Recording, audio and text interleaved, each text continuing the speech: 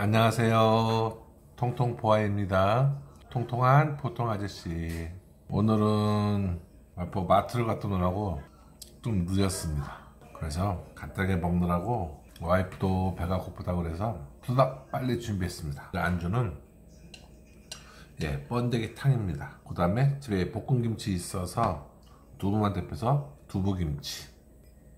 그리고 오늘 술은 막걸리.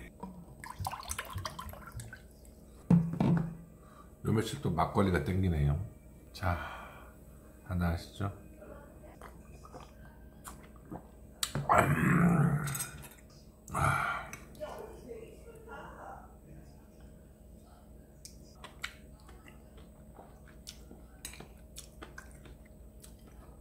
두부김치입니다.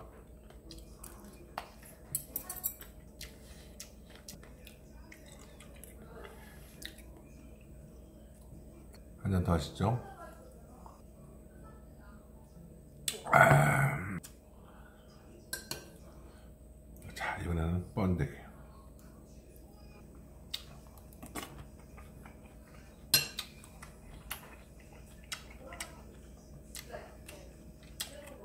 이 번데기탕은 술안주로 진짜 좋습니다. 아주 간단하게 만들 수 있어요. 그냥 캔만 따서 드셔도 맛있고요. 좀 더 요리다운 요리를 하고 싶으시면 후라이팬이나 냄비에 캔을 국물째 따라 놓고 대파, 청양고추, 마늘 그걸 다져서 넣습니다. 그다음 고춧가루 좀 넣고요. 한번 딱 끓여만 주면 됩니다. 근데 끓이면 국물이 없어서 금세 쫄아요. 그러니까 미리 물을 좀 보충을 해 주셔야 합니다. 근데 물이 들어가면 또 싱거워질 수 있잖아요. 그러니까 액젓을 조금 넣고. 그래서 한 소끔 딱 끓으면 그냥 꺼내시면 됩니다. 그래서 담고 여기다가 후춧가루 좀 뿌리시고. 그래서 먹으면 맛있는 술안주. 아주 간단하고 빨리 만들 수 있는 술안주입니다. 두부김치도 간단합니다. 혹시 집에 이 볶음김치 만들 있잖아요. 집에 누가 볶음김치를 해놓으면 두부만 잘라서 이렇게 먹기 좋은 크기로 잘라서 전자레인지에 돌리시면 됩니다. 볶음김치 같이 드시면 돼요. 어려울 거 없죠. 확실히 3월 되니까 봄 날씨 기분이 좀 나는 것 같아요. 확실히 낮에는 좀 덥고 아침 저녁에는 아직 좀 쌀쌀하고 자 한 잔 드시죠. 아.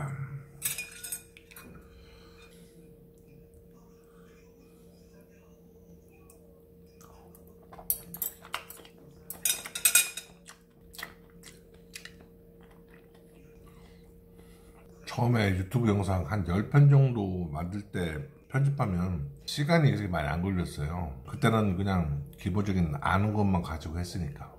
지금 가면 갈수록 그 유튜브 편집기나 자막 넣는 데 보면 노하우가 좀씩 생기더라고요. 그래서 그런지 점점 시간이 길어지고 있어요. 요새는 편집하는데 시간 많이 걸립니다. 처음에 자르기 하는데 한 1시간, 보내놓고 또 한 1시간 반, 2시간.